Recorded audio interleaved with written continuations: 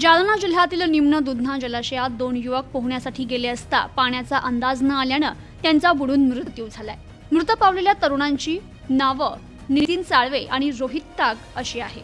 ते सेलू शहरातील गायत्री नगर येथील रहिवासी असून या घटनेची माहिती मिळताच परतूर पोलीस स्टेशनचे पोलीस निरीक्षक एम टी सुरवसे पोलीस उपनिरीक्षक कमलाकर अंभोरे यांच्या पथकानं घटनास्थळावर धाव घेऊन कहार समाजातील मच्छीमारांच्या साह्यानं दोघांचे मृतदेह बाहेर काढले. तर स्थानिक कहार समाजातील मच्छीमारांनी दोन्ही मृतदेह बाहेर काढण्यासाठी मोठी मदत केली. हे दोन्ही मृतदेह तपासणीसाठी उपजिल्हा रुग्णालयात पाठवण्यात आले. प्रतिनिधी Angad Lahire news today twenty four Jalna.